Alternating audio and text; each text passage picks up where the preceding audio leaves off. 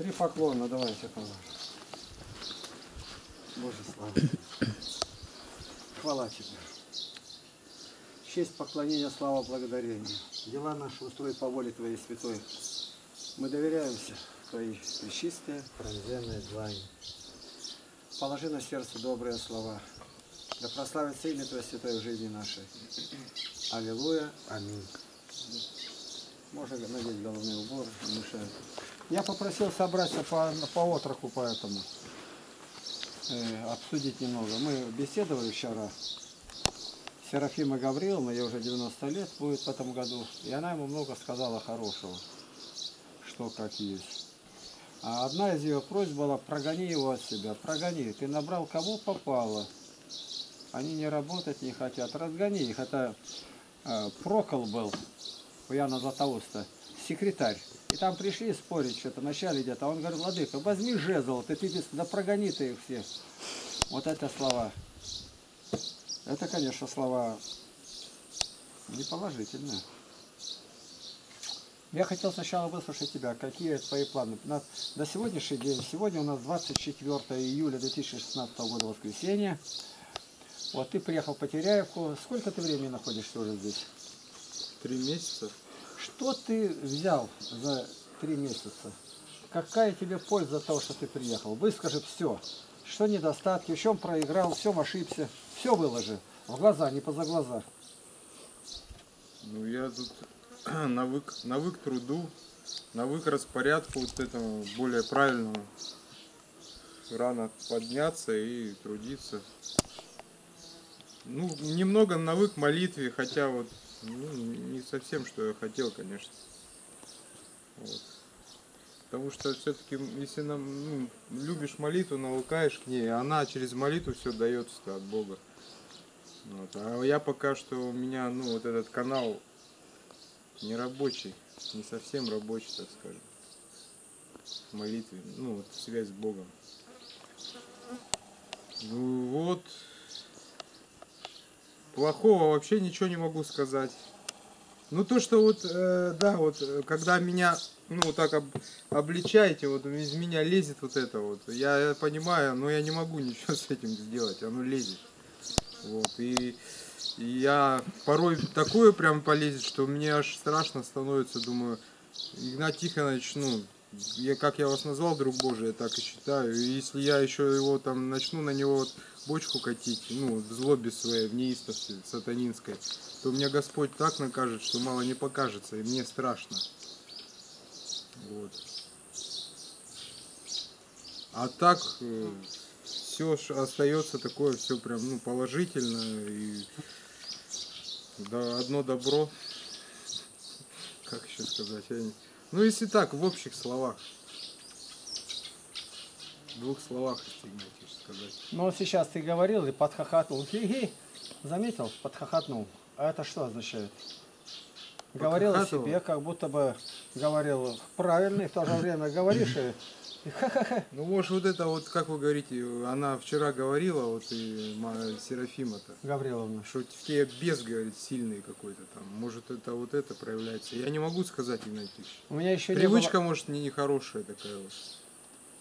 Или что? Ну я не в том плане, что я не злорадствую, ничего, я не ехидничаю, как нет.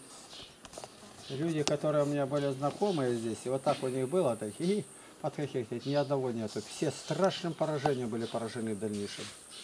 И она сказала абсолютно правильно. Я, говорю, тебе говорю о молитве, о спасении души, он стоит и лыбится стоит. Ты должен был заливаться слезами, плакать. И вот здесь о том говоришь сам, и сам на свои слова подхохатываешь.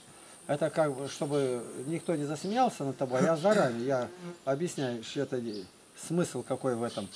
Ну, я, видишь, я и сам-то несерьезно это все воспринимаю, и, и мне самому смешно хихи, и просто подхохатывает. Был человек такой, где крайне угловой вот здесь жил, безобразник. Пошел на самые тяжкие преступления потом. Стал открыто нарушать седьмую заповедь. Седьмую заповедь знаешь? Не знаю, да? Ну по счету я не помню какая она. Не укради. Или да, не воруй, что там? Не прелюбодействуй. Не прелюбодействуй. седьмая, запомни, седьмая заповедь. Вот так. Я тебе никаких условий-то ведь не ставлю, кроме одного, что постарайся душу спасти. Без этого-то все остальное смысла не имеет. А зачем оно, если я не спасусь? Ну, допустим, я достигну всего. Всего. Я буду э, в 10 раз важнее Путина. Еще сколько не путайся, помирать надо. Наполеон какую власть имел? Да, во сне сегодня не имели. А Гитлер какую власть имел? Ни один правитель за 3000 лет не имел такой силы и власти. Перед ним все склонилось, вся Европа. В считанные дни. Франции потребовалось два-две недели, чтобы она полностью легла у его ног. Объявил одновременно войну Англии, России, Советскому Союзу, значит, и Америке. Это надо думать. Как? Но он тронул еврейский народ. Вот здесь его главный был проигрыш, главный. Дошел до Москвы. А пошел в июне уже, в конце июня. Июль, август, сентябрь. Это, понимаешь, нет? Он стал преследовать христиан. Там уже никак. Тут дело вот и в чем. Спасение души. Где эти люди? А когда говорят и пишут их биографию, об этом вообще не говорят. Да как будто никакого ада нет, ничего нету. Вот такой-то, такой-то, олимпийский чемпион, он чемпион, прыгал на длинной дистанции в Мельбурне, завоевал на 5-10 на тысяч километров. Владимир Куц. Правильно, да, здорово бегал, прыгал. Ну и что? Валерий Брумель прыгал. Спился это, спился и умер. 48, кажется, лет. Олимпийский чемпион. А который такой Вася Василий Власов, он там поднимал какие тяжести, что позвоночник лопнул, не может надеть на себя свитер. И дальше сегодня, кому это надо? Ему дали медаль. Да нам медаль, только она не золотая, даже ее продать никому не надо. Так просто, натертая железяшка.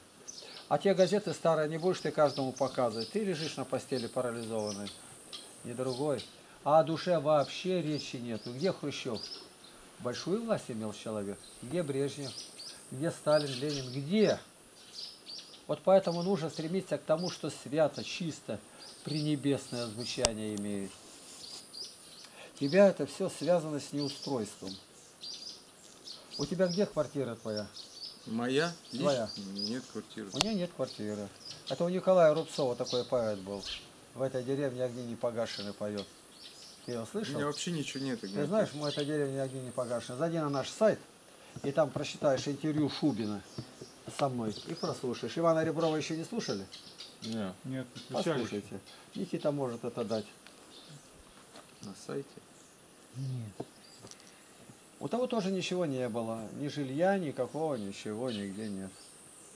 Богу разве это угодно?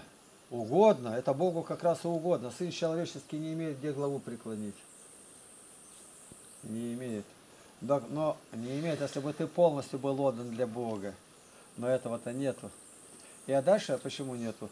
Ну, тебе 30 с чем-то? Ну да. Ну да. И не, не кола, говорит, не двора, поговорка такая. Тебе, конечно, ну хотелось бы иметь, приехать тут, своя постелька, свой уголок. У тебя есть где остановиться дома? Конечно. Есть. Понимаешь как? Вот рядом. Вот Володя, он тоже как бы нету. Я ему все имущество подписал. Я как-то один раз, я, если так вот взять с нуля, фундамент, заливать дом, я ни одного дома не строил. Просто мне Бог дает и все. Вот сейчас я его помещаю на саман. Но это мой домик. Мой. И рядом, который здесь угловой, это тоже мой. Получается так, что приезжает и никто не берет, и я беру, у меня денег нет. И нужно брать, и мне в этот времени мне приезжает человек и дает деньги, возьми. Я говорю, так а ты знаешь, куда мне нужно? Хоть куда истрать, я тебе доверяю. И вот где живу сейчас, это тоже домик. И который напротив, нынче обои мог приобрести. Потому почему? А я не для себя. Я в залог беру у Бога. Я на эти два домика, когда узнал, могут продать, сразу выслал денег. В один день мне прислали деньги, я их сюда выслал. Но получилось, что Иосифа выгоняют, я у него перекупил для нуждающегося. Ты знаешь эту историю. Это Бог делает. И в Барнауле, где я живу, два домика. А один у меня на Никитинской был, который там сожгли. И прописано, где жена, на второй строительной. Это посчитай сколько. А я ничего не строил. Не гонялся, ничего. Приходят, ну возьми, ну возьми, возьми. Возьми. Вот это, которое на Никитина было, попросили у меня для бабушек купить близко около храма. Тогда был один храм, я купил. А когда везде храмы построили, перестали переезжать. Я его сразу переписал дома одному человеку. У него дети и прочее. А человек сделался вот не другом, а врагом. Меня это не касается. Да как так? Он ушел из общины, он такое на вас говорит. Все знаю. Это его слова. А это мои слова. Я добился того, когда домик это стали продавать вам, они Василиса. Чего я больше всего не хочу в Потеряевке, чтобы девчонка одна ходила. По грибы послать ее нельзя, опасно. А со скотиной на край света идет одна. Она еще более привлекательная. И это беда огромная. Я уже не раз говорил, а парень дома сидит. Парень дома сидит. Телевизор смотрит. Я уже говорил, криком кричал, не делайте этого. Это опасно, крайне опасно. Не слышат.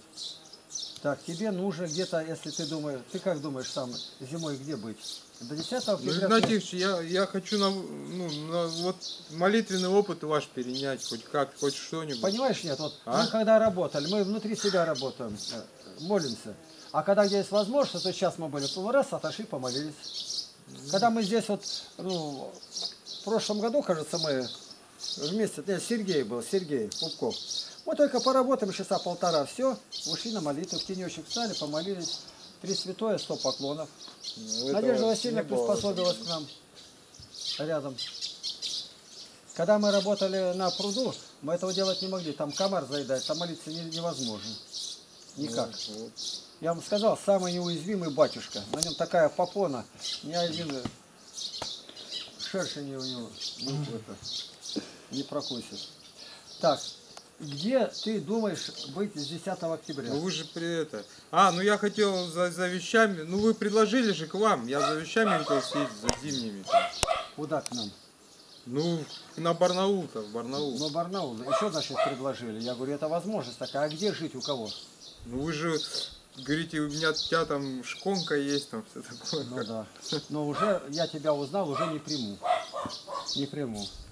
Вариант есть у Сережи. Почему, Игнатий Игоревич? Не приму. Ты настолько ненадежен, что ну, просто Вы мне не доверяете, да? Абсолютно нет. Не, не доверяю. Не доверяю дом, квартиру, на тебя одного оставить никак. Никак. То есть как чужой человек. Но здесь я под контролем все это держу. Ты ушел сюда, вернулся. Даже здесь и то. Утром прихожу с ними беседую, тебя опять нет. А почему? А тебя не разбудили. Да кто ж тебя будет будить-то? В 7 часов подъем же в воскресенье. Ты можешь лезть раньше в 9, в 8, но вставать в 4.40. Это твое дело. Ты скажи, я отработал, могу вечером было раньше лечь? Отвечу, можешь. Вон она что-то отгоняет и все. Бегает. Одна девчонка, одна. Представь, такая маленькая девчонка, прекрасная видом. И она одна со скотиной возится, одна в степи. Ну что, нормально это? Любой, который здесь подъезжает на конях, что угодно могут сделать. А его нету. Я уже ходил, говорил, как опасно. Не, не слышат. Я и батюшке говорил, и родителям приезжал, говорил. Значит, если в Барнауле остаешься, только у Сергея Пупкова, как я вижу, больше ничего не вижу. У меня жить не можешь. Ну тогда, тогда мне смысла нету. Ну, твое дело. Я тебе Зачем заранее мне скажу. у Сергея Заранее. Я вот гляжу, мне как, не как интересно тебе везде. Тем более тебя- мне, когда мне, ко мне доверие, мне не интересно с теми людьми дело иметь Но тоже. Сергей, может быть, имеет доверие. Понимаете, Игнатий? Сергей Нет, может- я говорю про вас сейчас. Но Ну я нету, не имею нету, доверия все. вместе жить. Ну все тогда. Вместе Закрыли жить не- вопрос. никак. Зачем? Я буду Я сдалека тебе жи- сказал. буду питаться вашими вот этими словами. Кан- канал есть, все там, если что, там, все, мне зачем это все? Дальше где ты будешь жить? В Омске? Пока в Омске, у меня родители пожилые, надо им помогать, все. Все, вот так. Значит, едешь в Омск с 10 октября. Мы уезжаем, а ты уезжаешь туда, в ту сторону. Вот Мне так. Зачем мне вот это на душе будет тоже? Мне не доверяют, мне тоже это будет. а Ну в, да, в ну. ответ будет такой же, понимаете? Как, Понимаю. как ни крути. Вот Как вам бы, если крути. не, не доверяли, вы бы тоже так же, скорее Так же. Я бы всего. узнал, почему не доверяют. Ну вот почему. Мне наоборот везде передоверяют. Ну, А я говорю, этого делать Я- нельзя доверять. Я тебе сказал, видишь? как? мне это не, Какая- не Ты нравится. не ищешь причину, почему не доверяют. А, а мне не доверяют. А почему должен тебе доверять? Когда ты противоречишь, когда делаешь неправильно, потому что не слышишь. Тут надо домкрат будет потом поднять вон тот угол и выровнять ее. вот эту вот избушку. Она стоит не совсем хорошо, то другое. Вот. Все твое поведение, отношение к жизни показало, жить с тобой в данной ситуации нельзя. Нам. Даже самое малое какое-то отступление. А что я должен бегать? Сказали беги, а что я должен бегать? Ну даже сейчас вот сказал, сделай э, комара, убейте. за- А зачем я успех? Ну, то есть вариант самый ты берешь такой, ко- который даже объяснить нельзя. Зачем? Зачем он полетел дальше, второго кусает? и- А я его, почему? Потому что я сказал. То есть ты мне не доверяешь. Так ты не доверяешь. Мое недоверие из твоих слов, поступков, хихиканий, не на пустом месте. А Владимир вот Юрьевич, если бы захотел, слов нету, сразу запустил бы, как брата родного и близкого. Ты не крещеный даже, тебя даже до крещения не допустили. Даже, даже никакого намека не было, что тебя крестить. Ты абсолютно не готов. Тебе до крещения минимум еще, ну, года два-три надо тянуть, чтобы начать жить. Вот какое дело. А ты поставь задачу. Они так там в гонор, вот, меня не доверяете, ну и я так же. Ну что тогда? То есть у тебя нет задачи. Вот она меня отвергла, девушка, я к ней сватаюсь, отвергла. Ну и что? Я должен узнать, почему отвергла. И теперь я сделать так, чтобы она увидела. Ей в жизни больше не встретить такого человека, надежного, как я. Я должен это, не думая об этом, показать. Она должна увидеть это. Я не буду ей дорогу пересекать нигде, но она будет слышать и видеть. Центре ее внимания я окажусь в самое короткое время. И она будет очень жалеть, что отвергла меня. Она будет искать со мной нового знакомства. А не так, она меня отвергла, ну и я ее отвергаю, кислоты ей плеснул в глаза. Что это за такое? Безумие. Вот они у меня отвергли лагерь. Ну, полиция, то другое. На меня это никак не подействовало. Это побудило меня искать высшее этого. Я сказал, тут у нас все освоено, это мы все знаем, у нас тут налажено, дети слушаются, колокол бьет. Высший Господь поднимает, Он отнимает это, переливает вино из сосуда в сосуд. Переливает. Куда она их погнала, неизвестно. Надо посмотреть. Куда? Куда она? Туда нельзя гнать. Куда погнала? Туда нельзя гнать. Так, тогда я поеду, узнаю, куда она погнала. И ты пробегись к этому, прямо вот так, там, где купаются. Может быть, надо отогнать. Так, все пока. Господи, благослови и помилуй. Виталий. Тебе, Боже, слава. Тебе хвала, честь и поклонение, Тебе, Сын и Святой Дух. Аминь. Я побежал. Меня это уже беспокоит, куда она погнала. Até mais um, senhor.